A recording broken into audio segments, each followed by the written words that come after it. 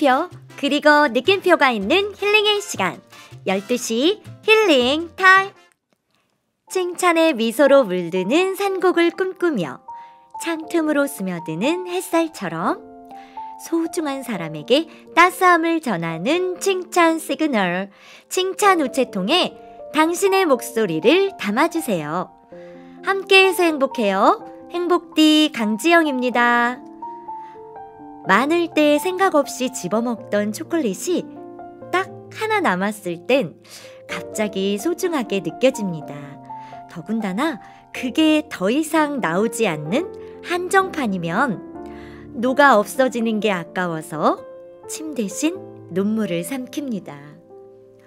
많을 땐 대수롭지 않았던 것도 마지막이라고 하면 갑자기 귀하게 느껴지죠. 많다고 했을 땐 대수롭지 않게 보냈는데 어느새 벌써 한창 봄을 지나고 있습니다. 다시 오지 않을 한정판인 만큼 최대한 이 봄을 음미하며 보내고 싶습니다. 칭찬 우체통 지금 시작합니다. 첫 번째 칭찬 선물 열어볼게요. 안녕하세요. 저는 사랑부 교회를 섬기며 13교회에서 삼순을 섬기는 김한순 사역자입니다. 부족한 저를 칭찬해 주신 사랑부교회 육순장이신 양정희 순장님은 책임감이 강하고 순종의 마음을 다하시는 분이세요. 또 공감 능력이 너무나 좋으신 참으로 아름다운 협력자이신 우리 양정희 순장님께 감사드립니다. 제가 칭찬할 분은 사랑부교회 이순을 섬기는 황명식 순장님이세요. 가끔 말씨는 좀 와일드하지만 공정과 정의로 모든 순장님을 대변하시고 어떤 말과 상황 속에서도 공감해 주십니다. 그리고 사랑부 순장과 순원들의 보디가드가 되어 주셔서 사랑부에 꼭 필요한 기둥과 같은 황명식 순장님께 늘 고맙고 감사드립니다. 황명식 순장님께 선물하고 싶은 찬양은 힘을 내세요입니다. 요즘 오랫동안 피부과 치료를 받고 계시며 여러 가지 힘든 부분이 있음에도 꿋꿋하게 자리를 지키며 예배하는 모습에 화이팅을 보내고 싶습니다. 그리고 사랑부 순장님들, 순원들, 그 가정 가정과 또 고난과 어려움과 아픔으로 절망 속에 있는 모든 분들이 함께 이 찬양을 듣고 힘을 내시길 소망해 봅니다. 네, 첫 번째 사연은 우리 김한순 사역자님께서 보내주셨습니다. 사랑부에 큰 기둥이 되시고 계신 우리 황명식 순장님께 감사의 마음 가득 담아 전해드립니다. 많은 분들이 의지할 수 있는 분이 계시다는 건 정말 너무나 든든하고 멋진 일이죠. 보디가드가 되어주시는 우리 황명식 순장님, 정말 멋지세요. 그 한결같은 모습에 사랑부의 많은 순장님들과 순원분들이 너무나 힘이 날 것 같아요. 앞으로도 하나님께서 맺어주신 아름다운 사랑부 공동체 안에서 함께 의지하며 사역하시길 진심으로 소망하고 응원합니다. 찬양 선물 띄워드릴게요. 힘을 내세요.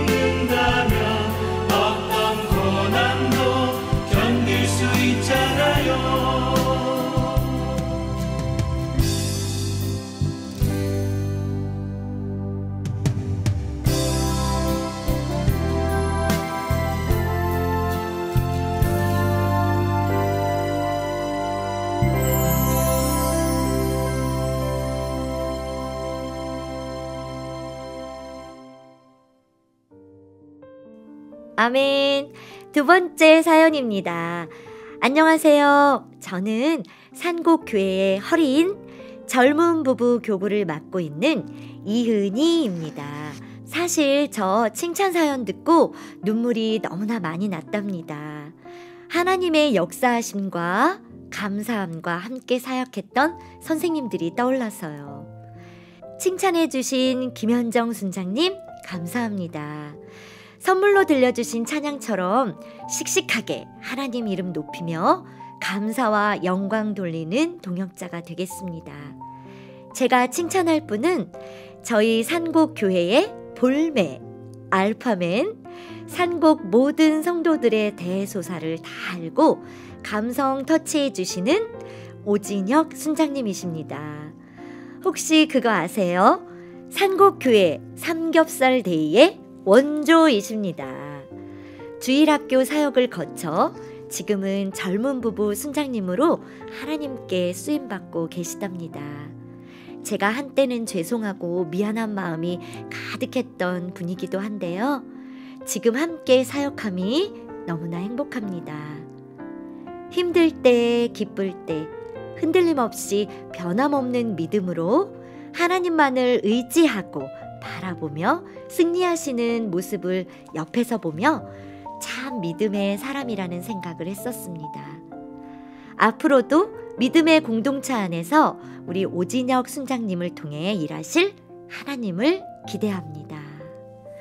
와, 우리 두 번째 사연의 주인공은 멋진 오진혁 순장님이세요.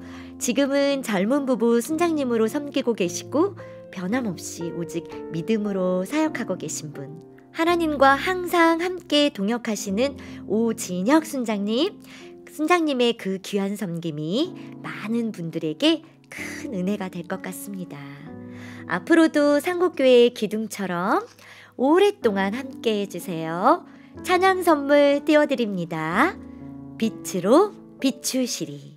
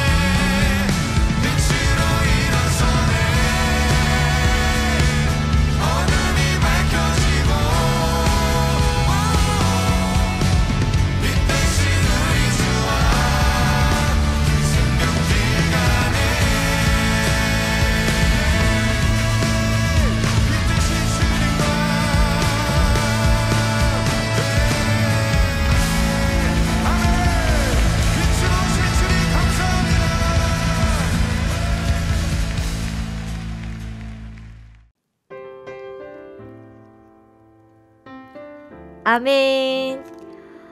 올해 3월엔 벚꽃이 작년보다 일찍 피었는데요.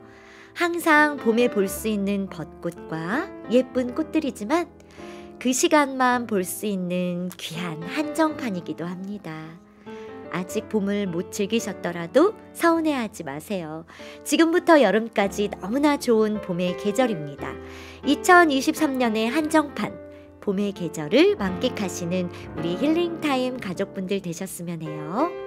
따스함을 나누는 곳, 마음속 울림이 있는 곳, 달콤한 사랑의 향기 가득한 12시 힐링타임의 주인공은 바로 당신입니다.